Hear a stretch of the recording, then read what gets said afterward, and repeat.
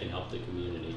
Okay. Does that, um, and so I think Staff Sergeant will probably, uh, Uh, what if a calamity that happened to our, we convert this gym to an evacuation center. Oh, this okay. is the provincial evacuation center. Okay. With the that we call the Palaroka. Palarong Pambansa, the Okay. main event. Right. the main event. We host, uh, I think that was, uh, Wow. our guest was President Rodrigo Roa Duterte. He Oh. came here to open the Palarong Pambansa. Wow. Uh, that's it. Yeah, 2018. Yes, okay. yes, yeah, yes, That's sir. exciting. Uh, yes, sir. Yeah. Was there is there a, a capacity uh, limit or how many people would ready to? We can accommodate for the Right. west and then going to Palaro.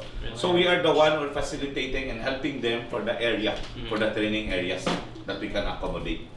Like we accommodate, yeah. This is a government uh, government property. Yeah. We, we also have uh, economic enterprise. Sometimes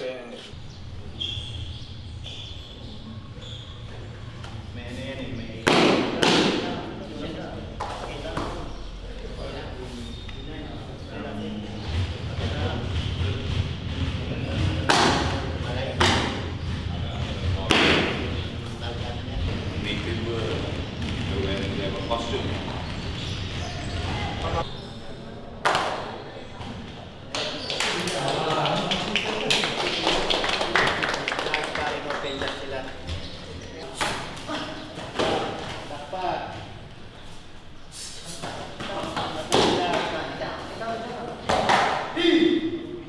Swimming pool, small grass. Did you uh, competition swimming too? Yeah, we have we have 10 days.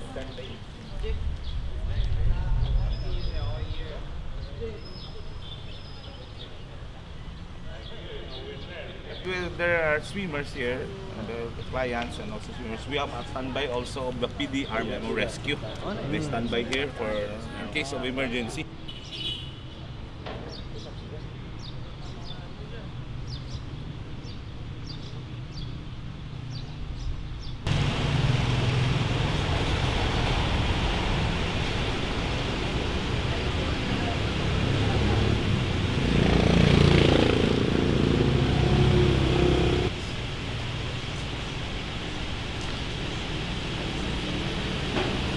on standby, which is actually we have a, a uh, activity right now. We have a uh, distribution. Uh, after this, uh, we're going to San Fernando. Okay. Yeah. How many volunteers do you, uh, or how many volunteers do you guys have? Actually, as of the moment, uh, most of them, our volunteers are already been deployed at, uh, uh, in San Rame. Yeah, actually now we just for example took uh, took up uh, medicine, but still under license. I got levels of Yeah, interventions. I- what's, the, what's the highest? Like, can you guys administer? What kind of highest Um, administer more on, um, but my rating for now is uh, basic. Okay, so just administer of oxygen Yeah. and like subliquid basic stuff Yeah. like that. A R I S O N. So that's uh, that's that's uh, the. Okay. Because uh, you know, I think it's in the mountainous area, so there's a lot area. of interference and everything.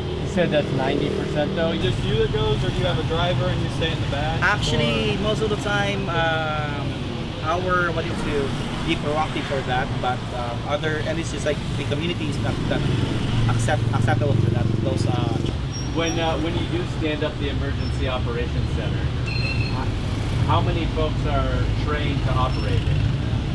Actually, we already have an ongoing skills enhancement here for the volunteers. But after, uh, but when COVID hits the Philippines, uh, the pandemic hit the Philippines after, we already try to uh, what is it? Uh, uh, put on We travel two hours. Disaster, they are the ones to first to report, first to respond during the disaster. So we don't really need to, to go in their area. That would take us hours. Yeah. so I, I'm not really very good with the Yeah. communications, but You have an expert, yeah. So he's the one.